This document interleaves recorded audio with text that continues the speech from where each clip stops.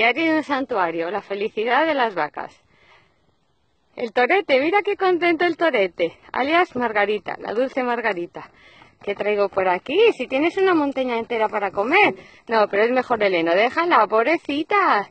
Mira qué buena es la vaquita de Lidia Margarita. Que hasta que su hermana no la deja comer, ella no come. A ver, yo te voy a dar para ti también, cariño, no te preocupes. Oye, pobrecita. ¿Cómo es, eh? Mira, ya está, cariño. Y aquí debajo de mis pies, mira, la Cat, la jabalí vegana del santuario, el hogar. Cat, vamos a partirles el heno y así que tengan para todos antes de que vengan también los caballos y los demás animales. Venga, vamos a dar los desayunos de los rumiantes.